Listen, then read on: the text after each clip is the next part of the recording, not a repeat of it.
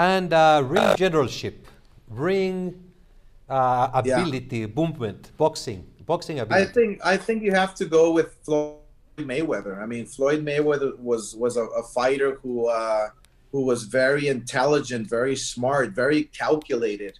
Um, and the reason why I don't say he was the fastest because Pernell Whitaker was the fastest, but he was very his timing of punches were were precise and that's where I have to give uh, Floyd Mayweather the, you know the the, the, the most credit and uh, and and the the the most respect.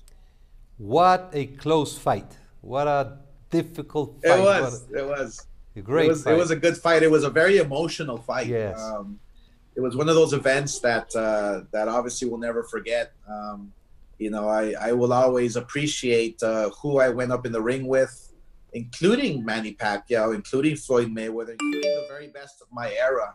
You know, I was very proud of my of my whole career, win or lose. And the last uh, category, inside the ring, who had the biggest heart?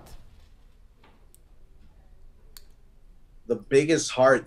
You know what? Believe it or not, uh, Sugar Shane Mosley. Sugar Shane Mosley had a heart of gold. I mean, this guy. I remember our first fight at the Staples Center um, again, Bob Arum told me, "Hey, do you want to fight this kid, Sugar Shane Mosley?" Well, I've known Sugar Shane Mosley since I was like eight years old, so I knew it was going to be a t- tough fight. And right from the first bout, we uh, again another Rocky movie. He was he has a granite chin. He uh, has a, a heart of gold, a heart of a lion. Um, you know, and but he never gave up. Shane Mosley was a guy who had who had, you know, as we say in Mexico, the, the big cojones. You know, um, he was a fighter who uh, who uh, who was strong mentally and physically. Um, so Shane Mosley, yeah, the very first fight was one of my toughest fights in my career. I'm gonna do a chart of what we and I, you and I discussed. It's unbelievable. All Hall of Famers, all Hall of Famers. So yeah.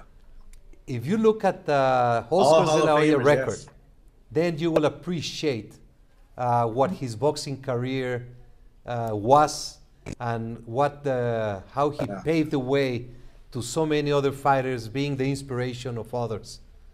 Oscar, uh, I want to thank you so very much for your time, thank for you. this moment. Uh, you are very dear, and all we can say is we wish you the best at anything that you do because you have been very special and uh, you have the golden boy attitude every day in your life?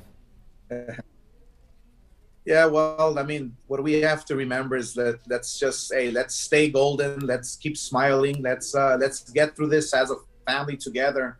Uh, because once we do, uh, you know, the future is very bright for all of us uh, in the boxing community.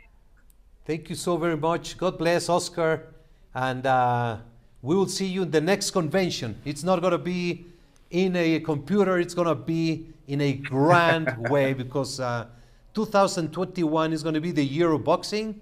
We're going to celebrate yes. every single month different uh, celebrations, anniversaries, and you're going to be a big part of this. Thank you so much, Wonderful. Oscar. God bless. Gracias. God bless. Thank you, Mauricio. Muchas Appreciate gracias, hermano. Que Dios te bendiga. Gracias.